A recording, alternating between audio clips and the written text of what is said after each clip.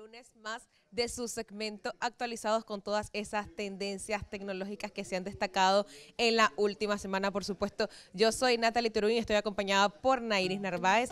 Venimos saludando a todos los que se vienen conectando a través del Facebook Live y por supuesto a los que nos están viendo desde casita.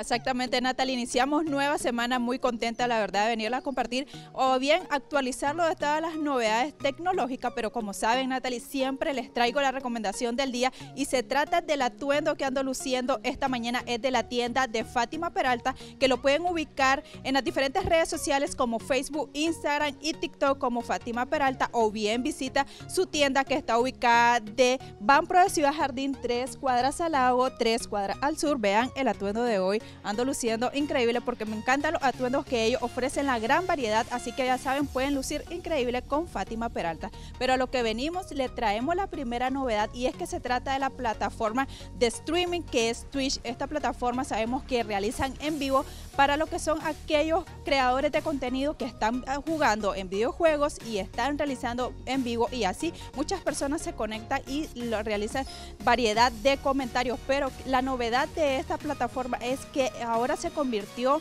en el idioma en la segunda etapa del español. Veamos. Una de las streamers más populares del mundo del servicio de Twitch, a Samantha Rivera, aseguró que el español es el idioma de más rápido crecimiento en la plataforma de transmisiones en vivo, ya que pasó de la séptima categoría de lengua más vista a la segunda. Según estimaciones del medio, aproximadamente el 80% de las personas de 10 a 65 años en áreas residenciales desarrolladas de América Latina juegan con videojuegos. Recoge la firma de análisis de diferentes medios cuyos datos se basaron en Argentina, Brasil, Chile, Colombia y México los países que estábamos escuchando, Natalie, son los más destacados porque el auge del idioma español en Twitch ahora está en la segunda posición.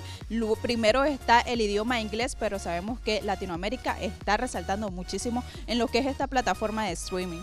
Y es que los latinos ahora nos estamos uniendo, Naire, a descargar lo que esta plataforma de streaming, eh, lo, como es Twitch. Fíjate que bastante youtuber, de hecho, un youtuber español, como le dicen el, el que tiene el, el, el, gatito que se murió, no recuerdo el nombre, este youtuber español que es como, digamos, comediante este, utiliza bastante lo que es esta plataforma de Twitch y qué bonito ver cómo la lengua español ya está en segunda posición. Pero es que también una de las cosas que estábamos viendo es que el idioma está en un crecimiento totalmente alto y es, sabemos que Twitch ha sido otra de las aplicaciones mayor descargada en lo que es la Play Store y App Store de las diferentes versiones de Android e iOS y entonces la verdad, ahora qué bueno que sabemos esta nueva novedad, que somos el segundo idioma después de inglés que está resaltando en esta plataforma. Pronto esperar que seamos el primero, Nair. Y ya lo, ya lo tenía en la punta de la lengua y no te lo dije, pero aquí ya lo tengo. Es Auron Play, uno de mis youtubers favoritos.